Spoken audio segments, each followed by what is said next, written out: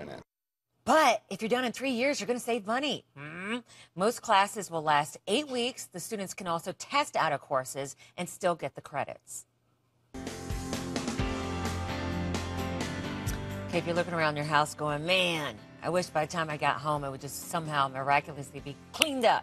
Well, if you have children, wow, they take clutter to another level, don't they? Toys and clothes and books. Well, if you're ready to clean up some of that clutter for 2013, here you go.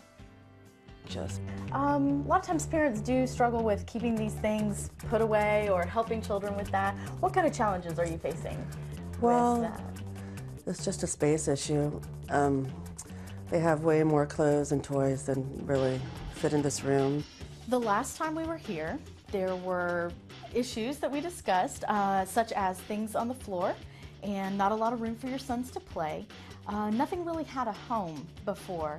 Um, and so we were looking for solutions for that. One of them was this uh, little bookcase sectional piece, not very expensive, around $40, able to put it together in about an hour and a half, a little less maybe, um, and just makes a huge difference. You're able to use it open, you're able to use it with these little buckets. Some of the things that we've done, um, and we're able to do quite inexpensively with just a little bit of effort, we were able to do things like divide games, toys, uh, books.